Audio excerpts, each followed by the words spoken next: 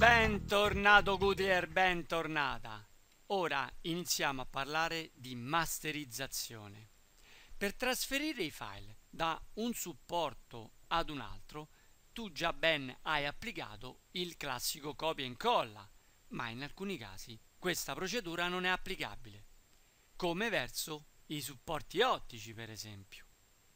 In tal caso dovrai utilizzare un processo chiamato masterizzazione. Ma cos'è la masterizzazione? È il processo che prevede la scrittura dei dati, dei file, documenti, immagini e quant'altro su un supporto di memorizzazione ottico che è eseguito tramite un software ed un hardware. I dati quindi vengono scritti, in sintesi registrati, su un supporto che può essere un CD, un DVD, un Blu-ray, tramite un dispositivo chiamato masterizzatore, il quale, sfruttando un raggio laser, incide, in termine meramente tecnico anche brucia, la superficie del supporto stesso. Ricordando brevemente la differenza tra i vari supporti, tra i vari dischi, ti cito solo che principalmente la differenza la quantità di dati memorizzabili sul supporto e il dispositivo che ne permette la scrittura sarà in grado di eseguire la masterizzazione solo se al suo interno è inserito un supporto compatibile. Un masterizzatore, ad esempio Blu-ray, potrà scrivere oggi su qualsiasi supporto, mentre il corrispondente masterizzatore CD potrà scrivere solo su dei compact disc.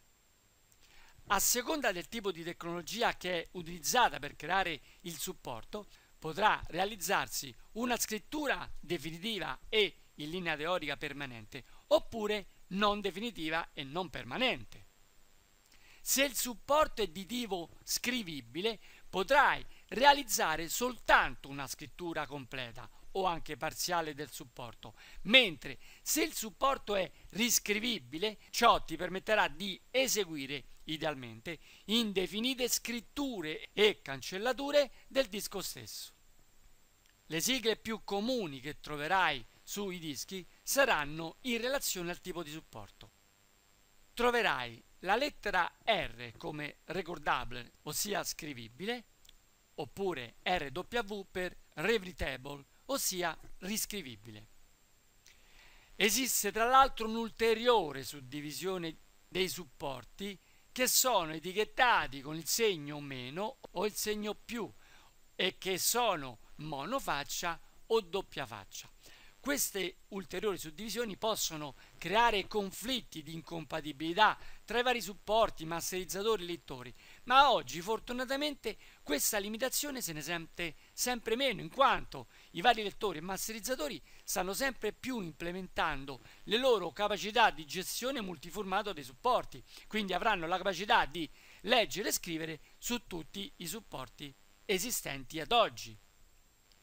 Ma come avviene la masterizzazione di un supporto. Semplificando oltre misura, le fasi sono inserire il disco nell'hardware, ossia nel masterizzatore, avviare il programma che permetterà la scrittura dei dati al suo interno, selezionare i file che dovranno essere copiati sul disco ed infine avviare la masterizzazione.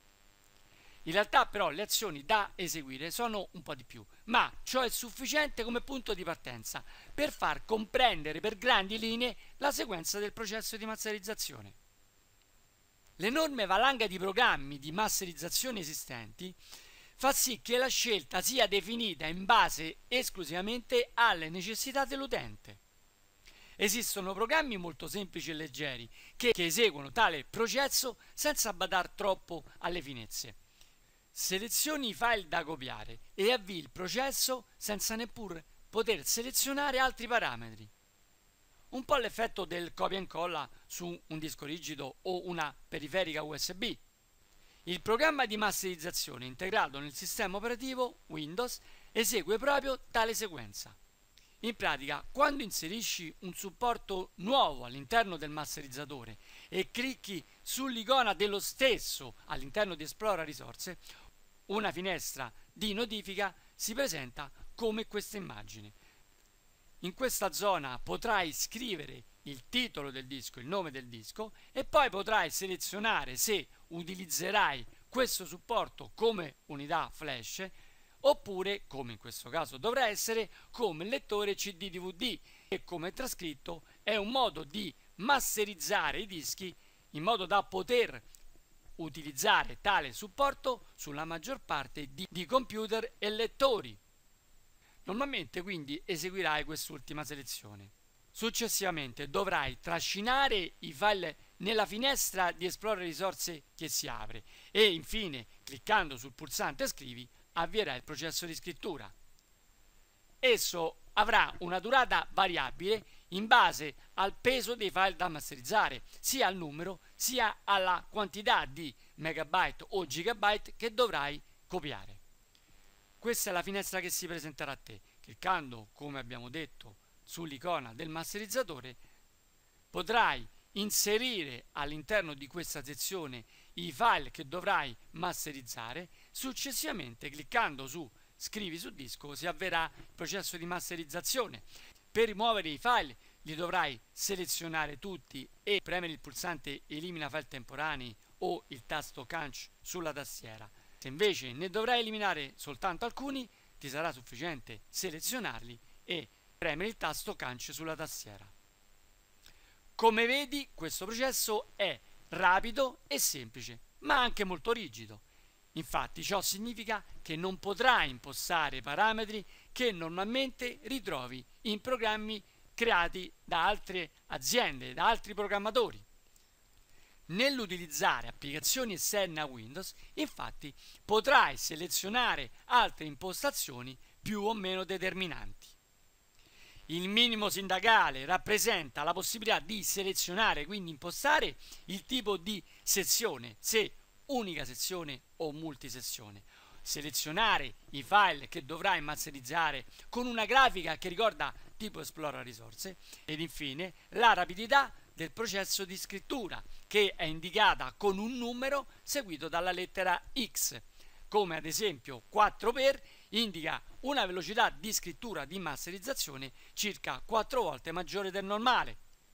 La velocità di masterizzazione, attenzione, è molto importante. Facciamo un esempio, se tu prendi carta e penna e inizi a scrivere tracciando una sequenza di lettere e parole troppo velocemente, un ipotetico lettore a cui fornirai questo foglietto potrebbe non essere in grado di decifrare la tua scrittura, perché è scritta in malo modo, lo stesso discorso è applicabile al processo di masterizzazione. Se avviene in maniera troppo rapida, potresti avere l'effetto collaterale che alcuni lettori non saranno in grado di leggere correttamente i file fino a rendere inutilizzabile il disco stesso. Per esperienza personale adotto una velocità cautelativa all'incirca di 4 o 8 per in questo caso non ho quasi mai avuto problemi, se non per qualche fallimento del processo di masterizzazione. Infatti aggiungo che una velocità molto elevata incrementa la possibilità che durante il processo di masterizzazione si possa verificare qualche errore. E se per qualsiasi ragione il processo di masterizzazione venisse interrotto, esso potrebbe senz'altro essere replicato, ma purtroppo su un disco diverso, in quanto il disco già iniziato, parzialmente scritto, bruciato, di fatto viene reso inutilizzabile a meno di eventi straordinari. Nell'atto finale del processo di masterizzazione avviene un'azione chiamata finalizzazione, ossia la chiusura del disco. In pratica si esegue questo processo di finalizzazione in modo tale che il supporto sia considerato finito, terminato, impedendo la scrittura di ulteriori dati. Avrai, in questo caso, realizzato un disco che si chiamerà ad unica sezione. Questo permette di poter impiegare il disco all'interno di lettori classici eh, come quelli da salotto o console per videogiochi o autoradio se stiamo parlando di compilation MP3, oltre naturalmente che all'interno di normali masterizzatori dei computer. Se il programma prevede la possibilità di non chiudere il supporto ossia non finalizzarlo, entrerai nel campo della creazione di dischi multisessione. Ciò permette di scrivere, quindi copiare, in fasi successive sul supporto, finché tu non decida di chiuderlo in maniera definitiva perché ormai saturo di dati e di iniziare la masterizzazione su un nuovo disco. Al vantaggio di poter scrivere in tempi diversi si contrappone però lo svantaggio che questo processo di masterizzazione e multisessione priva spazio al supporto. In pratica, se possiedi un disco, un DVD da 4,7 GB di capienza massima, eseguendo una o più multisessione, potrai copiare un numero di file il cui totale è inferiore ai 4,7 GB. In pratica si riduce lo spazio disponibile del disco. Lo spazio perso sarà tanto maggiore quante più sessioni di masterizzazione eseguirai. Sintetizzando, quando deciderai di eseguire un disco in multisessione, potrai effettuare tale selezione all'atto della prima scrittura e continuare la scrittura sempre in multisessione ogni volta che vorrai, aggiungendo file nuovi al disco finché deciderai di finalizzarlo, di chiuderlo. Ogni volta che inserirai un disco all'interno del masterizzatore, il quale è già stato iniziato in multisessione, nel momento in cui avvierai il programma per la masterizzazione, quest'ultimo riconoscerà la tipologia di masterizzazione avvenuta fino a quel momento e te la notificherà, richiedendo una tua azione in modo da poter permettere di continuare con la stessa metodologia, ossia continuare a masterizzare i dati in multisessione, oppure decidere di terminare la multisessione chiudendo il disco, finalizzandolo al termine dell'ultima sessione, di questa sessione in corso.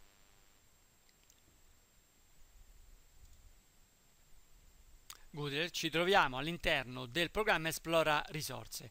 All'interno del masterizzatore ho inserito un disco riscrivibile, quindi un disco che potrà essere utilizzato per scrivere diverse volte, cancellarlo totalmente e in maniera completa o parziale finché la sua naturale vita lo consenta. La sigla del disco riscrivibile in questo caso è RW. Cliccando sopra due volte rapidamente sull'icona del masterizzatore potremo avviare il processo di masterizzazione. In questo caso utilizziamo il programma integrato all'interno del sistema operativo Windows 7. Non potremo impostare molte funzioni come normalmente avviene utilizzando programmi di terze parti. Quindi clicchiamo rapidamente due volte sull'icona e avviamo il processo. In questa schermata potremmo scrivere il nome del nostro disco. Potremmo scrivere disco di prova, selezioniamo l'opzione con un lettore CD DVD, quindi utilizzeremo questo disco o all'interno di lettori da salotto oppure all'interno di computer. Clicchiamo su avanti. Ora in questa sezione dovrai inserire i file che devi masterizzare. Prendiamo dei file da una partizione e spostiamoli in questa sezione tramite il drag and drop, i file verranno copiati e qui avrà in basso la notifica che dei file sono in attesa di essere masterizzati. Una volta che i file si trovano all'interno della sezione esplora risorse in attesa di essere copiati, masterizzati, potrai decidere se eliminarli in maniera definitiva selezionandoli tramite questo pulsante oppure tramite il tasto canch oppure come in questo caso masterizzarli cliccando sul pulsante scrivi su disco cosa che facciamo in questo momento. In questa sezione potrai decidere di selezionare la velocità di registrazione come vedi molto bassa in questo caso ma dipende anche dal tipo di supporto quindi lasciamo pure 2 per. Poi potrai decidere se chiudere la procedura guidata, quindi questo programma di masterizzazione al termine del processo, oppure lasciarla aperta. Ricorda però che non è riferita alla sessione di lavoro, che in questo caso sarà unica, quindi avrai a che fare con una monosessione e non una multisessione. Lasciamo deselezionato questo campo ed avviamo il processo di masterizzazione, processo che avrà una durata variabile in base alla quantità di file che deciderai di masterizzare, quindi alla grandezza, alle dimensioni in termini di megabyte o gigabyte. Attendiamo pure il termine del processo di masterizzazione.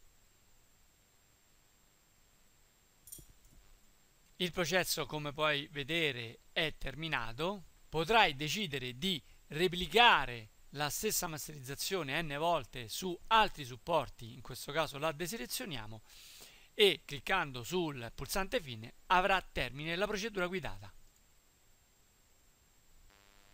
Nella prossima lezione terminerò i concetti sulla masterizzazione.